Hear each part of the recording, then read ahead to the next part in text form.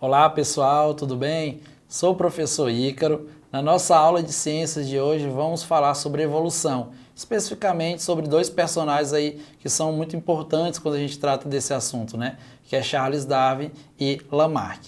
A nossa habilidade a ser desenvolvida aqui é comparar as ideias evolucionistas de Lamarck e Darwin, apresentadas em textos científicos e históricos, identificando semelhanças e diferenças entre essas ideias e sua importância para explicar a diversidade biológica. Então vamos lá iniciar nossa aula. Primeiro, Lamarck, né? Lamarck ele tem um papel muito importante né, nessa história. Jean-Baptiste Lamarck foi um naturalista francês no século XVIII e início do século XIX, conhecido por suas contribuições para a teoria da evolução. Embora suas ideias tenham sido amplamente superadas pela teoria da seleção natural, proposta por Charles Darwin, Lamarck desempenhou um papel significativo na história do pensamento evolutivo. Tá? Então, Lamarck ele teve sim tá, um papel fundamental aí no desenvolvimento da, da, das teorias né, que estão relacionadas ao evolucionismo. Duas principais ideias de Lamarck. Nós temos a teoria da herança dos caracteres adquiridos e nós temos a lei do uso e desuso que nós vamos abordar aqui no decorrer da nossa aula. Primeiro, a teoria heran da herança dos caracteres adquiridos, ele propôs que as características adquiridas durante a vida de um organismo podem ser transmitidas aos descendentes. Por exemplo, se o indivíduo desenvolvesse músculos fortes devido ao uso frequente, essa característica seria passada para a próxima geração. Essa era a teoria né, de acordo com Lamarck. Ou seja, se um alterofilista, por exemplo, uma pessoa que tem o hábito de malhar, desenvolver a sua musculatura, tivesse o desenvolvimento dessa musculatura, de acordo com a teoria de Lamarck, essa musculatura seria passada para os seus descendentes. Então é isso que fala a teoria da herança dos caracteres adquiridos. A lei do uso e desuso. Da mesma forma, se uma parte do corpo não fosse usada, ela poderia atrofiar e essa característica atrofiada também seria herdada. Né? O caso aí das girafas que Lamarck utilizou para poder estar tá ilustrando de forma mais prática né, essa lei do uso e desuso. A evolução das girafas segundo Lamarck. Primeiro, Lamarck acreditava que as girafas ancestrais começaram com pescoços relativamente curtos, semelhantes aos de outros ungulados, né, que são animais que têm casco, enfim. Como os recursos alimentares estavam localizados em alturas mais elevadas, as girafas teriam esticado seus pescoços para alcançar essas folhas. Então, Lamarck argumentava que o uso constante dos pescoços esticados levariam ao alongamento dos mesmos. Tá? E aí Lamarck afirmava que os pescoços alongados adquiridos pelas girafas durante suas vidas seriam herdados por suas descendências, ou seja, se alimentar as folhas tivesse um ponto mais alto, essas girafas teriam que fazer um esforço maior esticando seu pescoço, né? E de acordo com a lei do uso e desuso que Lamarck propôs, essas, essas características elas seriam herdadas aos seus descendentes também.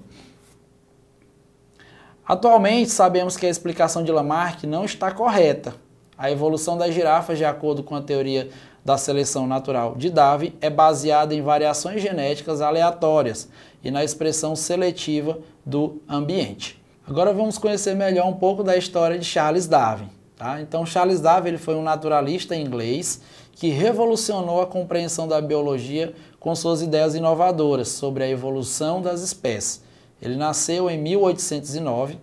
Darwin desenvolveu suas teorias durante o século XIX, um período em que as expedições científicas estavam explorando o mundo, trazendo novas descobertas e espécimes. Tá? Então Darwin ele teve um papel fundamental porque ele saiu, né? ele saiu da sua zona de conforto, ele foi viajar pelo mundo para poder conhecer né? e descobrir né, muitas informações que foram fundamentais aí para que a sua teoria ela fosse proposta. Né? Então vamos lá.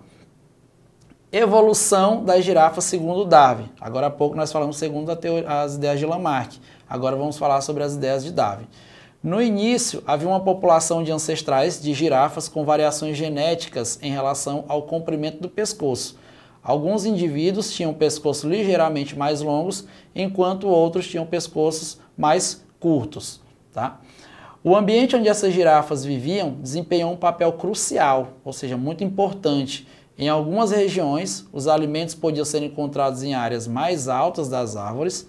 Devido à competição por recursos alimentares, as girafas com pescoço mais longo teriam uma vantagem em relação àquelas outras com pescoço mais curto, podendo alcançar as folhas e brotos mais altos nas árvores. Então, consequentemente, aquelas que tinham um pescoço mais longo, elas conseguiam se alimentar. Diferente das girafas de pescoço curto, né, essas iam ter uma desvantagem em relação às outras de pescoço longo, porque elas não iam conseguir alcançar ali a sua alimentação. Então, isso aí foi, digamos que, o, o que Charles Darwin observou para poder estar tá desenvolvendo aí a sua teoria.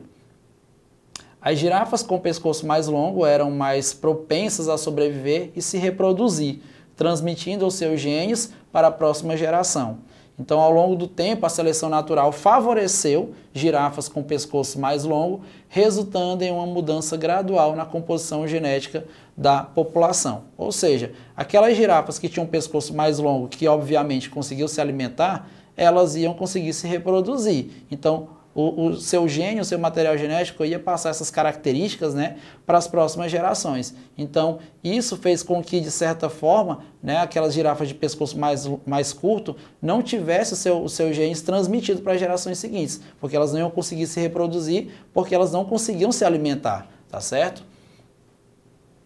A característica do pescoço mais longo foi passada para a descendência, contribuindo para a persistência e aumento da prevalência dessa característica na população de girafas. Uma publicação importante que Charles Darwin fez né, foi o seu livro, que é intitulado como A Origem das Espécies, a obra mais famosa de Darwin. Ela foi publicada em 1859. E nesse livro, Darwin propôs a teoria da seleção natural, como mecanismo principal para a evolução das espécies. Suas ideias foram fundamentadas em observações detalhadas e coletadas durante sua viagem ao redor do mundo a bordo do navio HMS Beagle. Então, Charles Darwin ele teve uma, uma, uma viagem né, que ocorreu pelo mundo. Então, depois disso, ele fez a publicação do seu livro intitulado aí de Origem das Espécies. As principais contribuições de Charles Darwin para a biologia, primeiro que a gente pode destacar aqui, é a seleção natural. Tá? Organismos com características adaptativas têm maior probabilidade de sobreviver e passar seus genes adiante. Então, essa, essa teoria da seleção natural, ela, ela responde muitas perguntas, né? por exemplo, que a gente faz hoje em relação à evolução das espécies. A evolução das espécies propôs que as espécies não são fixas, mas evoluem ao longo do tempo. Então isso aqui é um ponto, digamos que, de concordância entre Charles Darwin e Lamarck. Em relação à diversidade de espécies, mostra como a seleção natural pode levar ao desenvolvimento de diferentes características em populações separadas, eventualmente levando à formação de novas espécies. E a adaptação, ele enfatizou a importância da adaptação explicando como as características dos organismos são moldadas por pressões seletivas do ambiente. A importância histórica disso. As ideias de Charles Darwin causaram uma revolução na biologia e tiveram profundas implicações nas ciências naturais, na filosofia e até mesmo na compreensão da existência humana. A teoria da evolução de Darwin é considerada uma das ideias mais influentes na história da biologia, continuando a moldar nossa compreensão da vida na Terra. Ou seja, depois que Charles Darwin publicou né, o seu livro, depois que ele fez essa viagem ao redor do mundo, que ele, ele propôs essas teorias, é, a gente teve né, um avanço significativo é, em muitas explicações a respeito dessas questões relacionadas aí à evolução das espécies. É importante notar que a teoria de Darwin sobre a evolução não sugere que as girafas estendiam seus pescoços para alcançar alimentos mais altos. Em vez disso, os indivíduos com pescoço mais longo eram mais propensos a sobreviver e se reproduzir, levando a uma mudança gradual na população. Então, diferente do que Lamarck né, propôs no início, Charles Darwin já pensava de uma forma diferente em relação a isso. Então, existem semelhanças entre o que Charles Darwin propôs e o que Lamarck propôs também. Então, tanto Darwin quanto Lamarck reconheceram que as espécies mudam ao longo do tempo, ou seja, essas espécies não permanecem fixas sem mudança. Então, os dois eles concordavam em relação a isso, que havia essas mudanças. e ambos consideraram o ambiente como um fator importante na evolução das espécies. Tá?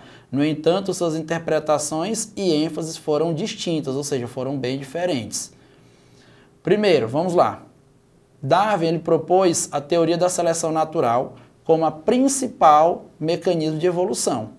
A seleção natural é um processo pela qual as características benéficas são preservadas ao longo do tempo devido à sua contribuição para a aptidão reprodutiva. Ou seja, é, Charles Darwin ele falava da seleção natural como esse ponto né, que ele chama uma característica benéfica, ela, ela servia né, para que esse organismo ele tivesse ali, um, durante seu processo reprodutivo, fosse facilitado nesse caso. Já em relação ao que Lamarck né, propôs, a herança dos caracteres adquiridos como um mecanismo de evolução.